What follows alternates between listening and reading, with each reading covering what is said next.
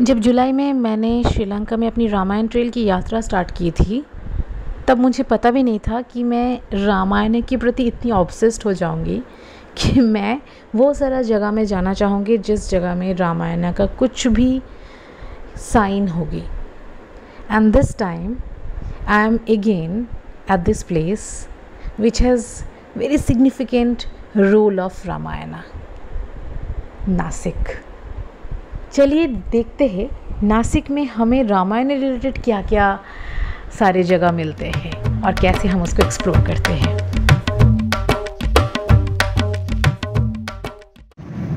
सो so, दोस्तों finally हम पहुँच गए हैं नासिक शहर में।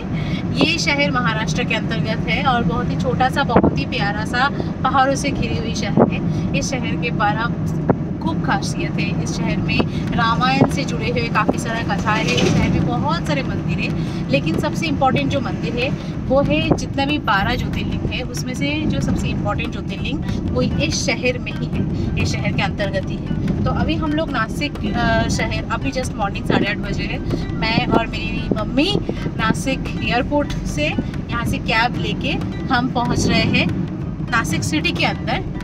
And one more thing is that कि अगर आप नासिक शहर में आ रहे हो और आपकी प्री बुक कोई कैब या टैक्सी नहीं है और आप अगर फ़्लाइट से आ रहे हो तो फ़्लाइट जो एयरपोर्ट बहुत ही छोटा सा, बहुत ही प्यारा सा एयरपोर्ट है। एयरपोर्ट के अंदर दो टैक्सी सर्विसेज़ है, वहीं से ही आपको टैक्सी लेनी पड़ेगी बिकॉज़ एक किलोमीटर नहीं तो आपको वॉक करना पड़ेगा ऑटो लेने के लिए which is little bit difficult and bus या फिर और भी पब्लिक ट्रांसपोर्ट का इतना सुविधाएँ नहीं है एयरपोर्ट में। तो आप क्या करोगे? आप एयरपोर्ट में उतर के जो टैक्सी, कैब सर्विस है, वहाँ से आप कैब ले सकते हो दो ही सर्विस है। एंड प्रिटी रिजनेबल बिकॉज़ बाईस पच्चीस किलोमीटर जो है एयरपोर्ट से सिटी एरिया और हमें चार्ज लगा सिक्स नाइन्टी नाइन यानी सेवन हंड्रेड का विच इज़ प्रिटी रिजनेबल बाकी हम आगे आगे बताते जाएँगे। बाकी शहर मुझे बहुत अच्छा लग रहा है वेदर ब्यूटीफुल बहुत सुंदर है। ठंड लग मतलब हमें सोच, हमने सोचा नहीं था कि ठंड लगेगा, लेकिन लग रहा है but it is pretty good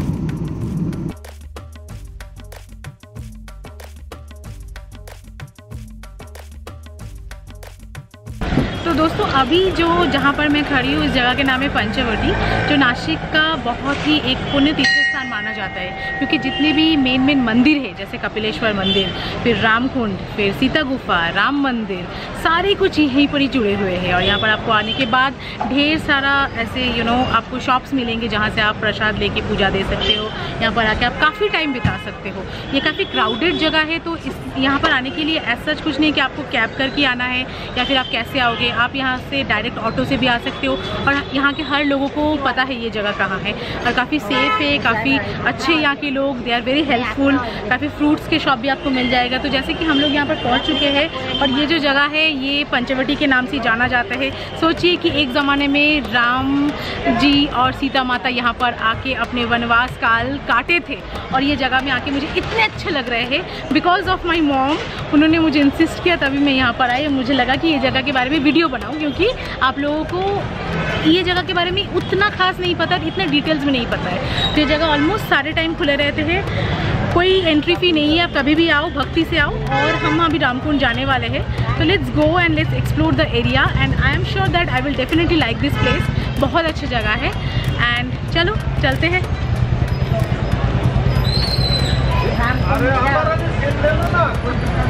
हाँ जी? इधर का सीन ले लो ना हाँ तो ठीक है। आप तो जैसे ये भैया है इनकी यहाँ पर शॉप है। और यहाँ पर आपको खिलौने और ढेर सारी चीज़ें मिलेंगी जैसे स्कर्फ चाहिए क्योंकि यहाँ पर ना वेदर थोड़ा सा अलग अलग हो जाते हैं। तो अगर ऐसे कपड़े वपड़े भी चाहिए तो वो भी मिल जाएँगे। ये सारे काफ़ी सस्ता में मिलेगी। अच्छा थैंक यू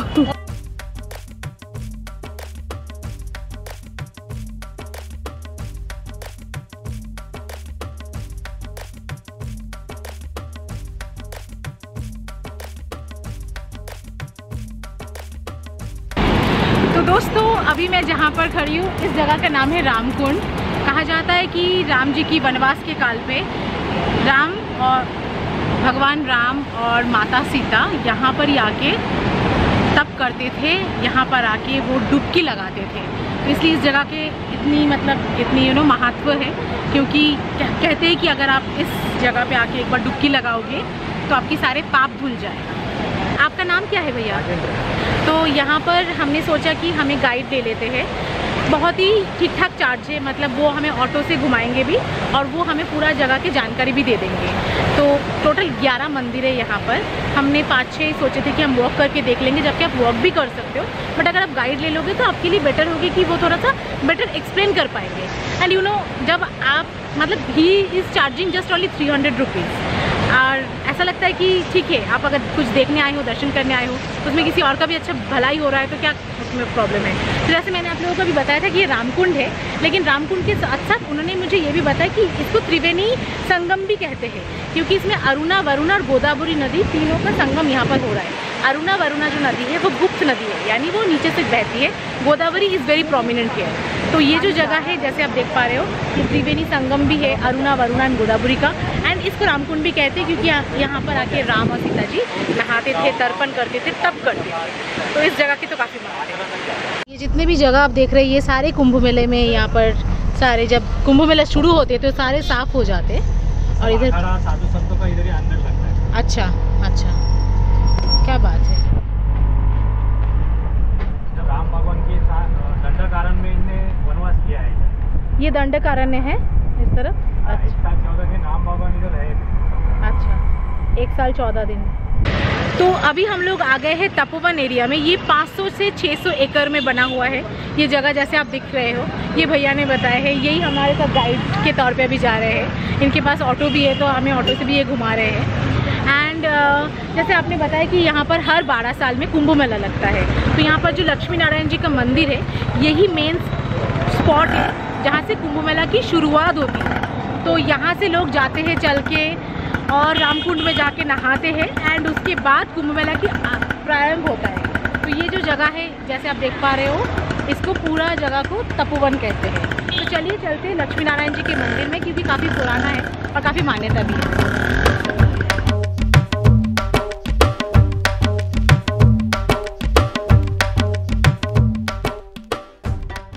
राम राम तो दोस्तों, हम इसके बाद जो स्पॉट पे आए हैं, इसको कहते हैं दंडकारण्य। जो जहाँ पर कंप्लीट जैसे मैंने आपको कहा था कि 500 से 600 सेक्टर एकड़ ज़मीन में यहाँ पर कुंभ मेला मेला होते हैं तो ये वो जगह है जिसको दंडकारण्य कहते हैं। आपको पता होगा शायद कि जब राम जी और सीता माता वनवास में आए थे तो एक साल चौदह दिन वो दंडकारण्य में पे बिताए थे। तो ये जगह जो है, यहाँ पर राम, लक्ष्मण और सीता माता एक साल चौदह दिन तक रुके थे। इस जगह के नाम दंडकारण्य कहते हैं।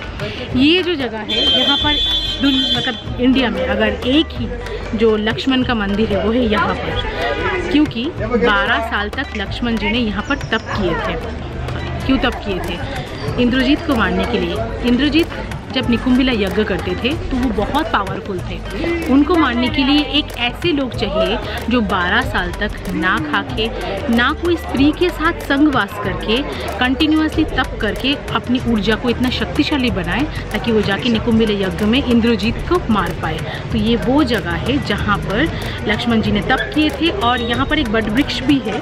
जहाँ पर मैं आपको दिखाऊँगी कि उस बट वृक्ष के नीचे उनको शेषनाग की अवतार भी प्राप्त हुआ था क्योंकि एज पर the mythology Ram is the avatar of Vishnu ji and Lakshman ji is the avatar of Sheshnag तो यहाँ पर 12 साल तक तप करने के बाद लक्ष्मण जी को शेषनाग वाला जो अव, जो ओरिजिनल उनकी रूप था वो प्रकट हुआ था। एंड ये वही जगह है जहाँ पर सूर्पनखा की नाग भी कटी हुई थी।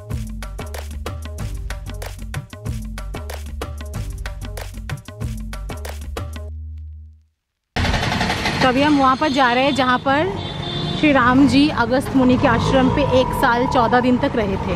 तो चलिए, दर्शन करते वो जगह जहाँ पर अगस्त मुनि का जो तप केंद्र था और जहाँ पर राम भगवान जी ने रहते भी थे। आइए। ये अभी एक घर टाइप का बन गया है। वो अगस्त मुनि का मूर्ति भी है और यहाँ पर मतलब ऐसे पूजा के सामान और दुकान भी है और ये दर्शना केंद्र है।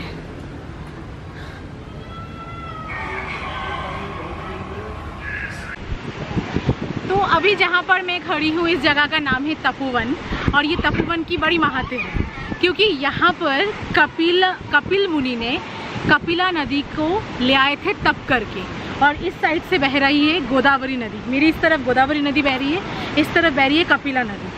और आगे जाके मैं आपको दिखाऊँगी जहाँ पर कपिला नदी और गोदावरी नदी साथ मिलके संगम बन गया है। और ये जगह काफ़ी पवित्र है। इसके और भी रीज़न है बिकॉज़ यहीं पर ही एक स्पॉट है जहाँ पर लक्ष्मण ने शूर्पणखा यानी रावण की जो बहन थी, उनकी नासिका काट के उस तरफ़ फेंक दिए थे गोदावरी के। तो तभी इस जगह का नाम नासिक या नासिक भी कहते हैं, हुआ है। देन थर्ड पॉइंट इसका जो इम्पोर्टेंट पॉइंट है कि यहाँ पर तीन कुंड है।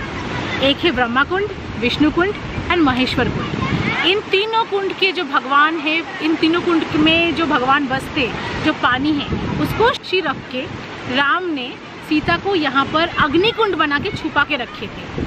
तो this is another story because एक स्टोरी कहते हैं कि लक्ष्मण रेखा क्रॉस करके सीता माता ने डायरेक्ट चले गए थे रावण के साथ। दूसरा स्टोरी ये कहते हैं कि राम भगवान को पता था तो इसीलिए उन्होंने इन तीनों कुंड में भगवान को साक्षी मान के अग्नि कुंड बना के उसके अंदर सीता को छुपा के रखे थे। और जो सीता माता की जो साया था, वो गए थे रावण के साथ। तो काफ़ी अच्छा जगह है, काफ़ी यू नो मतलब इसका काफ़ी वैल्यूज़ है आई कैन से तो this place is beautiful and यहाँ पर आके थोड़ा आधे घंटे तो रुक ही सकते हैं आप। एंड ये भी कहता है क्योंकि गोदावरी नदी का जो स्रोत है वो बहुत ज़्यादा होते तो इसलिए जून, जुलाई या अगस्त के टाइम पे ये जगह पूरा भर जाते हैं पानी से तो people can not even come तो अभी हम जिस जगह पे खड़े हैं, ये बहुत ही इंपॉर्टेंट स्पॉट है पंचवटी के। इस जगह से पूरा रामायण बनी थी, इस जगह से पूरा राम रावण की युद्ध बनी थी। इस जगह से ही रामायण का जितने भी कथा है, सुंदरकांड, या जितने भी कांड है, वो बनी थी। ये वो जगह है जहाँ से रावण ने सीता माता को हरण किए थे। मैं आगे जाके आप लोगों को अंदर जाके दिखाऊँगी कि यहाँ पर रावण की जो मूर्ति है, ये सीता माता की मूर्ति है बट ये वो जगह है जहाँ से रावण ने सीता माता को हरण किए थे। कहते हैं, बुधवार के टाइम, दोपहर 12 बजे रावण ने सीता माता की हरण की थी यहाँ पर। इसीलिए हिंदू शास्त्र वाइज ये कहते हैं कि बुधवार हम अपने घर की बेटियाँ बहुओं को कहीं और नहीं बेचते क्योंकि उसको काला दिन माना जाता है। तो चलिए अंदर जाके देखते हैं कि वो कौन सा स्पॉट है जहाँ पर सीता माता को रावण ने हरण किया थे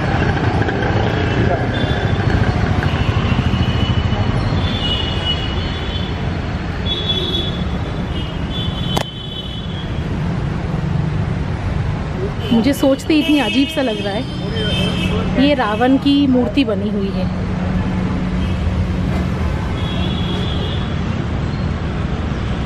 और ये वो स्पॉट है, ऐसे मंदिर टाइप छोटी सी बनी हुई है, जहाँ से रावण ने सीता माता को हरण किए थे।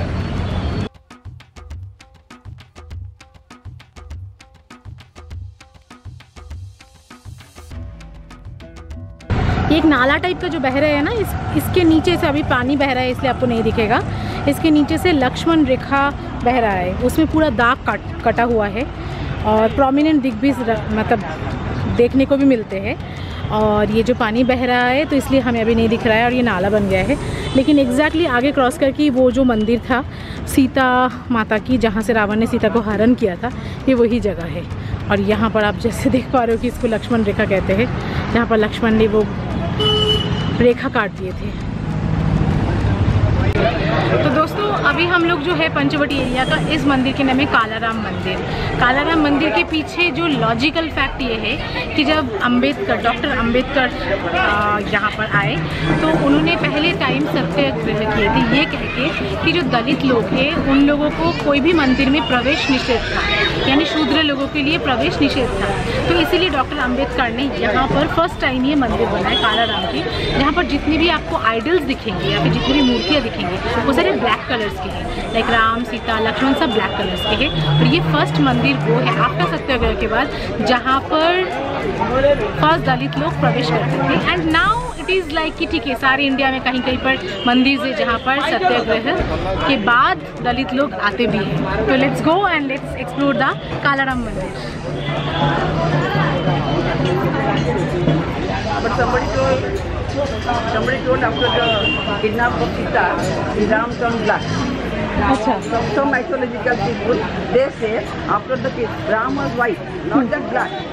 Very Gora Ram. And after Sita was kidnapped by Ravana, the Ram, Ram became so you know, the, the disgusted and so sorry for that. He became his color turned dark. Wow That one guy told us and one or something in uh, this is mythological. Ram was naturally in his color, but after the kidnap of Sita, Ram turned black. That is one saying. Here I am with uh, auntie Jayanti, Jayanti auntie and she explained beautifully about the mythological fact of this mandir, Ah. Kalaram mandir because I knew about the like logical facts because she's and she said explained actually very beautifully about the Kalaram mandir. After after after the kidnap of Sita, Bhagwan Ram turned black. Yeah. Because he was very sorry and he was separation was very painful. That's why he turned black. And before that, there is a Gora Ram. That Ram was originally that color. agar तो अगर आप यहाँ पर आते हो तो and and ram दोनों ही विज़िट कीजिएगा thank you so much aunty thank you अच्छा। जो रावण की बहन का नाकन काटे लक्ष्मण ने हम्म हम्म। तो उसके दोनों भाई थे खरदूषण हम्म। तो चौदह हज़ार सेना लेके लड़ने के लिए आए। थे तो सीता राक्षस देख के डर ना जाए। इसलिए राम भगवान ने उसको एक दिन एक रात के लिए गुफा में छुपा दिया था। अच्छा। तो राम भगवान को ऐसा लगा ये दंडक कारण में सीता को लेने कैसा है? अच्छा। तो राम भगवान ने आजू बाजू में एक निशाने के पाँच पेड़ लगाए थे बरगद के। ओके। वो पाँच पेड़ के वजह से हीरा का नाम पड़ा था पंचवटी। पंचवटी। पंचवटी के पाँच पेड़ है, एक नंबर का है। ओके। दो नंबर तीन नंबर चार नंबर। और सामने दिख रहा है पाँच नंबर पाँच पेड़ के से का नाम पड़ा था पंचवटी। पंचवटी अच्छा। और ये सीता गुफा थोड़ा अंदर जाके हाँ थोड़ा इधर आप देख पा रहे हैं कि सीता गुफा जाने के लिए बहुत लंबा भीड़ पड़ता है ऑलमोस्ट एक डेढ़ घंटा। तो I am go trying to reach there but no idea कि कितने वो मतलब अंदर तक जा पाएँगे। थोड़ा सा अंदर जाके कोशिश करती हूँ ताकि थोड़ा सा वीडियो आप लोगों को दिखा पाऊँ।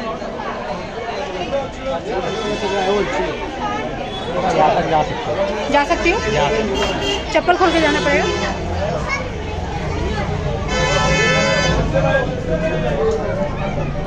जैसे ये देख पा रहे हो आप कि यहाँ पर ऐसे है। और ये गुफा का अंदर की साइड है। ये गोरेराम मंदिर है। कहते कि राम भगवान ने अपने अवतार में दो कलर लिए थे, एक वाइट एक ब्लैक तभी से जितने भी मनुष्य है, उन सब का दो ही कलर आते हैं वाइट एंड ब्लैक तो ये गोरेराम मंदिर है। अभी हम लोग जाएँगे कालाराम मंदिर पे भी। यहाँ पर देख पा रहे हो आप, काफ़ी सारे बैग्स बिक रहे हैं, पचास रुपये सौ रुपये करके। तो if you to do some window shopping you can come here and you can go for some good shopping कि आप भी अगर बाहर से आते हो, मेरे तरह ही तो अब आपको भी यही लगेगा ना कि चलो वीडियो देख लेते ब्लॉग पढ़ लेते और तीन चार मेन मेन पॉइंट्स उसको देख लेते। लेकिन if you want to explore in a proper way in depth way तो definitely do contact him because he is very nice very honest ऐसा वो नहीं है मतलब he just charges like three hundred rupees वैसे तो यहाँ पर फाइव हंड्रेड सिक्स हंड्रेड लोग लेते हैं बट इन्होंने सिर्फ़ तीन सौ रुपये लिया। कोई एक्स्ट्रा चार्ज नहीं इन्होंने आपको हर चीज़ बहुत बारीकी से हमें समझाए और इन्होंने ऑटो से पूरा घुमाया almost ten kilometre I guess तो आपका नाम? राजेंद्र। राजेंद्र। राजेंद्र भैया और आपका mobile number seven five zero seven five zero two three zero five. ठीक है seven five zero seven five zero two three zero five तो मैं नीचे डिस्क्रिप्शन में डाल भी दूँगी। तो अगर आप कभी नासिक आते हो और अगर पंचवटी घूमते हो तो इनको ज़रूर कॉन्टैक्ट कीजिएगा क्योंकि बहुत अच्छे से घुमाए I am satisfied mom are you satisfied तो मम्मी को भी काफ़ी अच्छी लगी तो इनको ज़रूर संपर्क कीजिएगा। ठीक है दोस्तों तो हम भी हम चलते हैं कपिलेश्वर महादेव के टेंपल में। बहुत मान्यता है। उसके बारे में जाते जाते बात करेंगे। चलो। दोस्तों, अभी जहाँ पर मैं हूँ, ये पंचवटी जो त्रिवेणी संगम है। उसके ऑपोजिट में एक शिव मंदिर है, जो बहुत ही ज़्यादा मान्यता है शिव मंदिर का। इसको कहते हैं कपालेश्वर शिव मंदिर। इस शिव मंदिर को बहुत ही मैजिकल शिव मंदिर कहते हैं, क्योंकि इस शिव मंदिर के अंदर कोई भी नंदी की मूर्ति आपको नहीं दिखेगी। ये कहावत है कि शिव जी गो हत्या किए थे, और गो हत्या के पाप को धोने के लिए नंदी ने उनको बताया था कि त्रिवेणी संगम में जो राम कुंड है, आप वहाँ पर जाके नहा लो। और क्योंकि नंदी की इस बातों से शिव जी जब रामकुंड में जाके नहाए तो उनको गोहत्या के पाप से मुक्त हुए। तो उन्होंने नंदी जी को अपनी गुरु माने। और गुरु के स्थान कभी जो भक्त हैं उनके नीचे नहीं होते। दैट्स वाई इस मंदिर के अंदर आपको नंदी की कोई भी मूर्ति नहीं मिलेगा। ये मंदिर काफ़ी जागृत है। इस मंदिर का जो यू नो थोड़ा सा सीढ़ियाँ चढ़ के आप जब ऊपर आओगे तो इसमें आपको बहुत अच्छा सा एक आनंद अनुभूत होगा। तो I will definitely suggest you कि जब आप पंचवटी आ रहे हो, नासिक आ रहे हो तो इस मंदिर को ज़रूर विज़िट कीजिएगा, क्योंकि ये मंदिर का काफ़ी अलग महत्व है।